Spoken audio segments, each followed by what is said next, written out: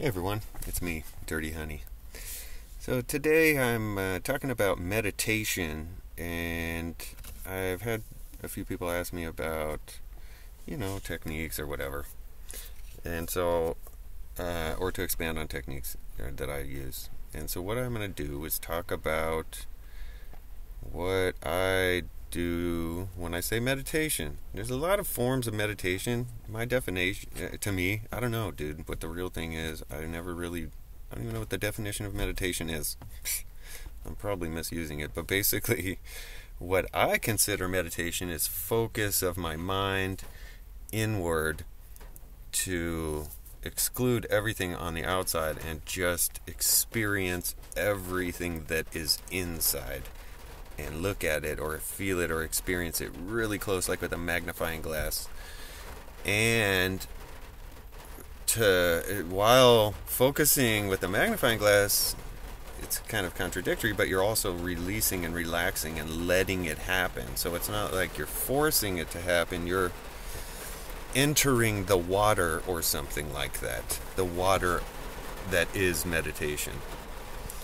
And so when I heard of meditation in the past, and that's just my definition or whatever, I don't know. Anyways, in the past, when I, you know, was heard of meditation in the past and kind of pictured what I thought it was, I always wondered how do people get into that state of meditation? How do you enter it? And I know I've heard of things called a mantra where you'll have like this I don't know what you how you generate a mantra or where it comes from, but it's kind of like your meaningful representation of yourself in in a short saying, something like that, I think.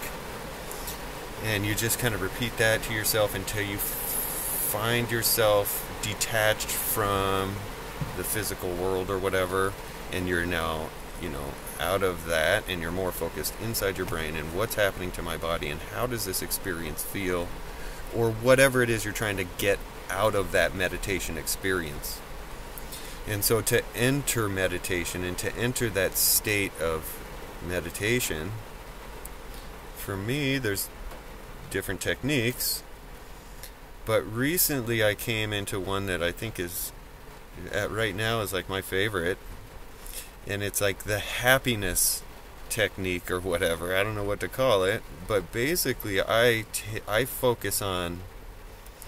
I can try to generate a, a, a, genuine happy feeling in something by thinking about something or whatever and then write it out. Or, more often than not, I just experience a happy feeling out of randomness or whatever. I don't know how it happens, but I'll notice that I'm feeling happy and then I'll extend into that. And so, what do I mean by that? Um, let's take the example of whatever it is. I'm going to give an example of how I create my own feeling of happiness uh, that I can then focus on and try and extend into what I consider a meditation state. So, what I do when I want to try to find that happy feeling, I think of outer space or what you know, humans call outer space, okay, because there's a whole, you know, this is a theory potentially, outer space. Some people are like, oh, I don't believe in outer space, and it's just because you think it's there and whatever. I'm not going that deep. We're riding the outer space thing. So in my mind, over time, at the bottom of my ocean, there's information that was poured on me and settled down. And I remember being told and have seen images of and can look into the sky and see darkness in outer space and then all the little stars and the moon and stuff, right? But in the Big Bang theory of creation or, or how we got here, that's where my mind tries to go. So I try to imagine what the Big Bang was like if there was one. And I'm not saying, oh, I believe in the Big Bang and that's the truth. Okay, dude, I'm taking this theory of the Big Bang and trying to make it real in my head for the purpose of putting myself somewhere in my head that is not here on Earth and is imaginary ish. And so I find that place in outer space. But before outer space existed, before the Big Bang, there was something. And so, what was there before the Big Bang happened?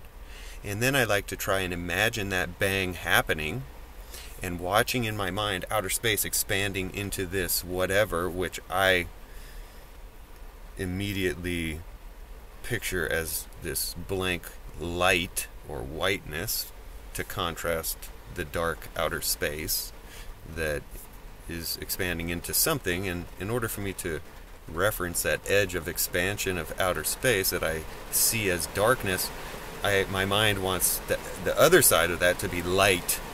And so the contrast is necessary for me to create that that border of outer space expanding into something. And so for me, uh, I picture light, like just blank whiteness, and then I really try to focus on what is that? What is it? And I try to really make my brain feel what is that space or whatever that's in front of outer space. What does outer space sit in? And for me, trying to do that in my mind creates this happy like joy. It's like a really rich, happy feeling that I get from thinking about that. And then once I discover that I'm having that feeling, and I'm still really only focusing inward in my brain and trying to forget. It works best for me, you know, when you're in a quiet environment, or I like doing it when I drive for whatever reason that puts me in the zone. And I don't have interruption. There's nobody that's going to come in as long as I don't get a phone call and make a loud noise or whatever. And so I have that peace or that hum to be able to focus inward in my mind and try to you know i'm driving sometimes and i'm still paying attention to the road so this is something where your conscious can still be happening. But your focus is in your mind. Don't drive and meditate okay? Don't do what dirty honey does. That shit might be dangerous. Do it at home and like while you're laying in bed or something all right um, but the focus inward in my mind with and, and, and trying to just kind of almost forget about what's physical and outside and just really focus on that what I think is beyond outer space place, space place or whatever. That gives me some sort of a rich happy feeling and I try to capture that happy feeling and, and really feel what's happening to me. Why am I feeling happy? What is this feeling of happiness feel like? Where is it in me where am I feeling this and how does it feel? And don't let it go and keep trying to just fully hold on to that happy feeling and really understand what it is and like ride it like a horse as far as it'll go until you what happens to me is when I'm really trying to focus on that happy feeling and try to really extend it I lo- start losing touch with the physical world and that's when I that's how I'm entered into meditation. And you'll have these little touches of wanting to reflect back on the physical world, and you just have to kind of fight that or focus. Not fight it, but you just put your focus back on that place in outer space or that happy feeling that you got. And it's like, um, for me, it has to be this like mysterious happy feeling rather than thinking about somebody I love or something. It works better for me that way to be able to, because the things that I that I love are in the physical world, and that outer space thing is something that I have to imagine. I've never experienced it. It's 100% created in my mind. I can't go there uh, physically. And so because it's something that's uh, create it, it requires 100% of imagination to create in my mind with no physical reference, it helps me to detach from the physical world and enter into the meditation state.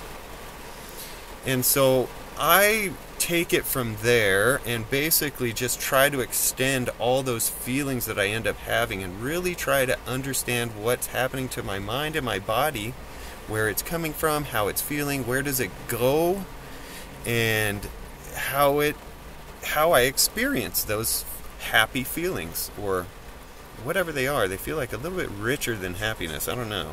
It's not just like, hey, joy. It's like interest and all these complex feelings or something, and that helps to float into this place. And so for me, I get into that meditation state, and then I kind of just feel it and experience it, and I can't explain it past that. It starts to sound totally trippy and weird, um, but you'll have like really in touch physical experiences that are attached to pure mental experiences. Like it's a really enriching, just it's like this getting to know yourself process that's very, very enriching. It really goes with you afterwards. It's like an experience that you take with you because it all happened in your mind. You can't leave it anywhere else. It's in there and you went there. And you actually kind of built something in your mind that you experience and now you kind of like know how to get there again. You built a little trail or you left a trail in your mind that kind of allows you to go back to that place a little easier. And just like when you walk on a trail through the grass over and over and over, eventually it leaves a trail. You know, if you walk in the same place on the grass over and over and over, it'll it'll beat a trail down. Similarly is meditation. It becomes easier and easier to get to that location after doing it over and over.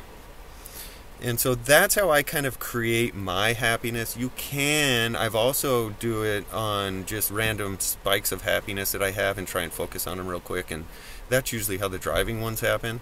And I'll just be like, oh yeah, yeah, and try and find it in my mind and just enjoy happiness longer than it would have lasted if I didn't pay attention. And it leads into a meditative state, deeper depending on your environment, okay? But that's pretty much it. I want to keep the video a little short, so that that's that's that's one of my techniques that I use. Um, that I call the happiness meditation technique or whatever. I don't know. I refer to it in my mind, and I'm gonna probably name the video something like that. So that's what it's called now. Fuck it.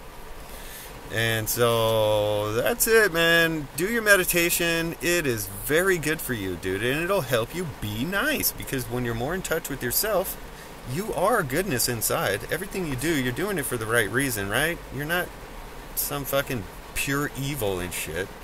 You have goodness in you.